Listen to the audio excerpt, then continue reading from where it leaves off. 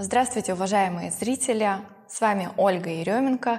Сегодня у нас тема, посвященная взаимосвязи остеопороза и успокоительных. Гость нашей программы Надежда Валентиновна Соловьева, врач-психиатр, директор Центра персонализированной медицины. Здравствуйте. Здравствуйте. Спасибо, что вы согласились, а, потому что тема остеопороза молодеет.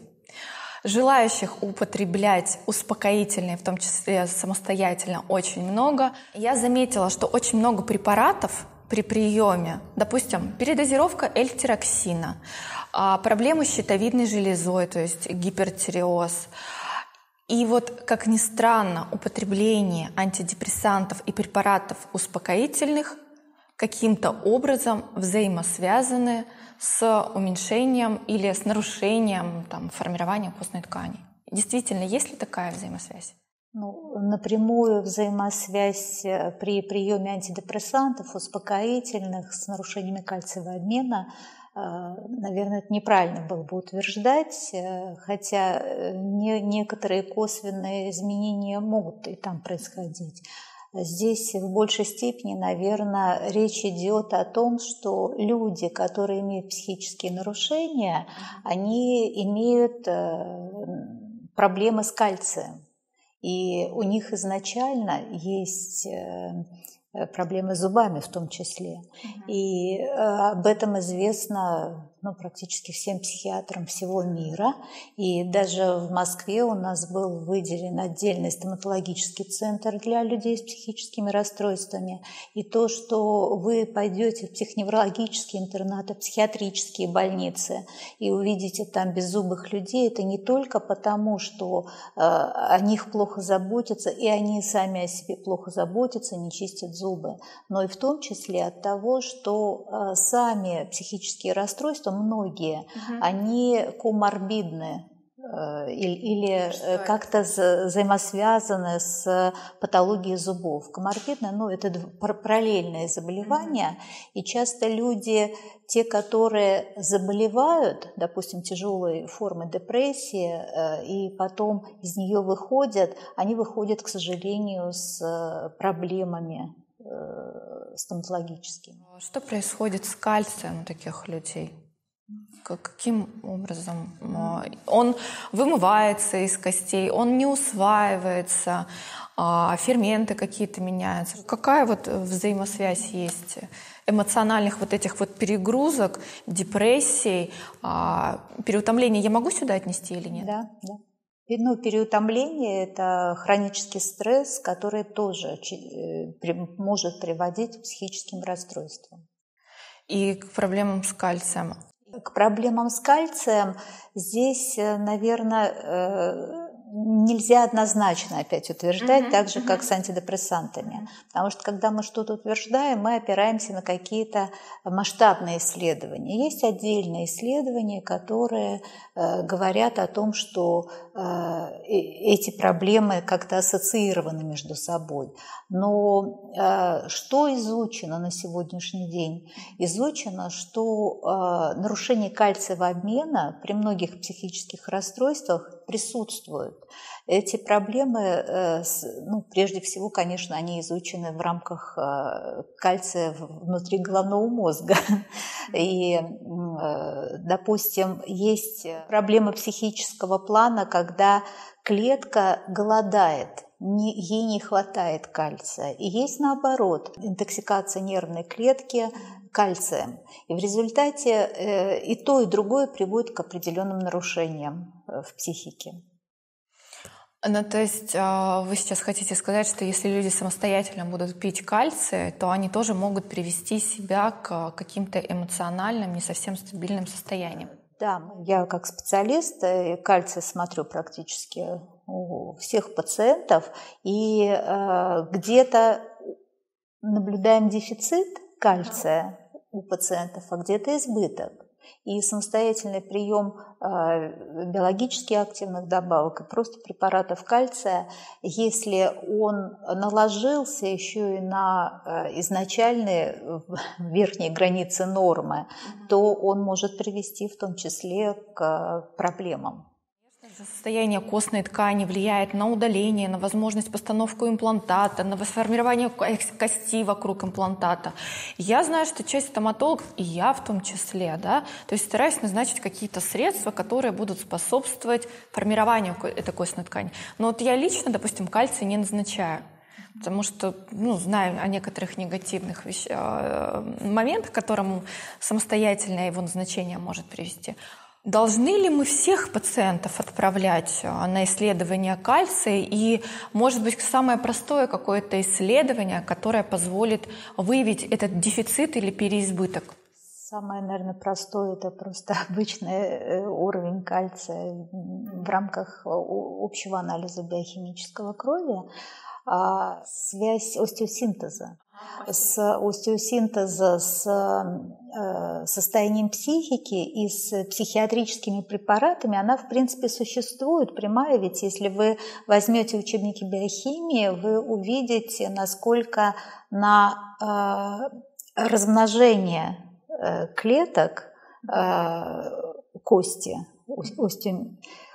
остеоцитов влияют вещества, медиат, которые являются медиаторами головного мозга. Угу. Тот же норадреналин, да, он напрямую влияет на синтез э, кости. Но при многих психических расстройствах норадреналин может э, колебаться как в сторону повышения, так и в сторону понижения. И, э, соответственно, эм, синтез кости, он тоже будет меняться. Я хочу раскрыть эту тему, потому что у меня очень много молодых пациенток, именно молодых, 30, 32-летних, 35-летних. И у них состояние костной ткани похуже, чем у пациенток, которым за 40, 45, 50 и даже иногда 60 лет. И э, вот Самые такие сложные случаи, а, я, я всегда собираю анамнез, я пытаюсь узнать, какие препараты принимает человек. Иногда на меня смотрят большими глазами, зачем это нужно стоматологу, но на самом деле это очень важно. А, самостоятельно пьют успокоительные, вот просто месяцами. Раз, чтобы не являться агрессорами в семье, не раздражать там своего мужа или своего мужчину, чтобы не срываться на детях. И делают это ну, фактически как употребление витамина С. Есть товарищи, которые сидят на антидепрессантах годами и не а, слезают с них. И у них очень сложно а, а, получить процесс регенерации вокруг зуба, ну то есть восстановление костной ткани, вот в частности после моих пародонтологических или хирургических вмешательств. Скажите, пожалуйста, а можно ли самостоятельно пить успокоительные? Как долго? И а, давайте еще затронем тему антидепрессантов.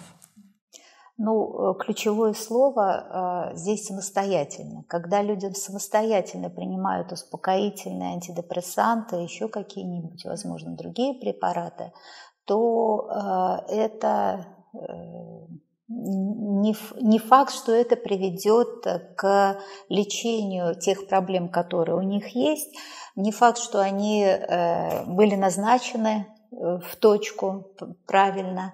И э, побочные эффекты этих препаратов тоже невозможно отследить самостоятельно, потому что люди не имеют того массива медицинских знаний, э, которые имеют доктора. И, э, наверное, вот те ваши пациенты, которые к вам приходят с э, принимающие вот эти препараты от каких-то своих личных проблем, э, и вы хотите добиться, вы видите у них проблему с э, остеосинтезом, и вы хотите добиться более лучшего результата в, э, в той сфере, чем вы занимаетесь, то самое правильное направить их к психиатру для коррекции Возможно, они э, интуитивно поняли, что им надо. Возможно, они и правильно назначили себе. Но если у них э, э, годами, как вы говорите, они принимают Годами, и да. не помогает, то где-то что-то нужно скорректировать по дозе. Доза имеет огромное значение в психиатрии. Один и тот же препарат может как помочь, так и навредить. Доза в медицине в принципе значение имеет. Яд может быть лекарством, да, а ведро, от ведра воды можно умереть, да. Ну да.